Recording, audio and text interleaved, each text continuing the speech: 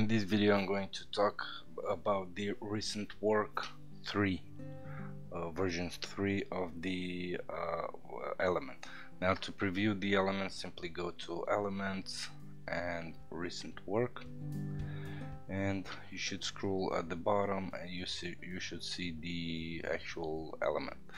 Now this element is added uh, into version 4 it's a brand new element so I'm going to edit this page with a page builder.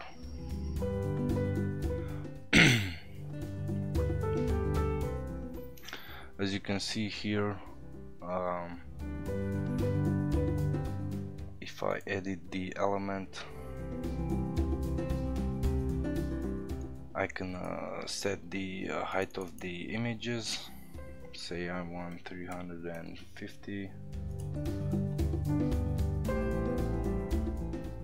see each one has uh, increasing height. You can edit the uh, title the uh, portfolio text button. If for example if you want to link to all of your works uh, or to if you want to link to your uh, portfolio page just add the link right here. And here you can add the uh, text of the button. Now moving forward uh, you can select as many categories as, you want. Um, to uh, select one just click it.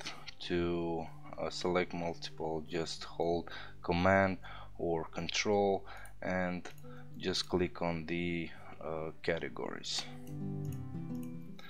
So now uh, of course we have this option too the number of portfolio items uh, which is uh, 10 but in my opinion uh, it, it's better to have uh, less portfolio items loaded because it does affect the loading of the page. So if for example in this um, example here five items are loaded you can simply just uh, uh, load I don't know eight I think and should be enough.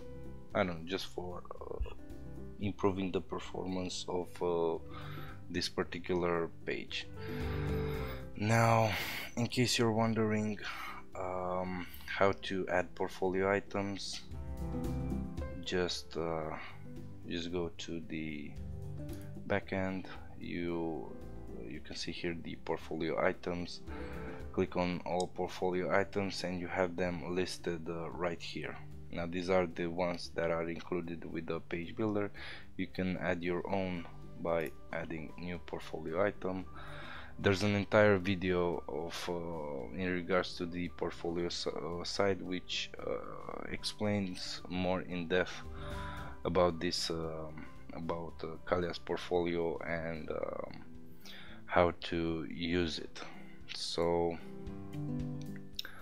that's about it with the recent work element. Um, if you want you can also have a, look at the videos for the other two for the recent work 1 and uh, 2 to see the differences.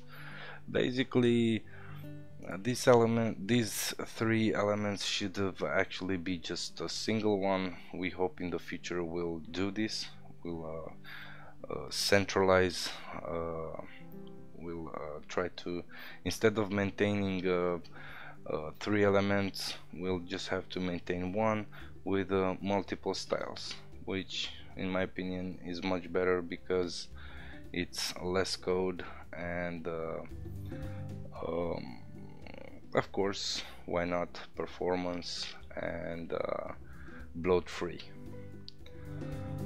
so if you have any problems with this uh, with this element feel free to ask me. And if you have any troubles with it uh, subscribe to our support forums and my colleagues will uh, will assist you there. So thanks for watching and see you in the next one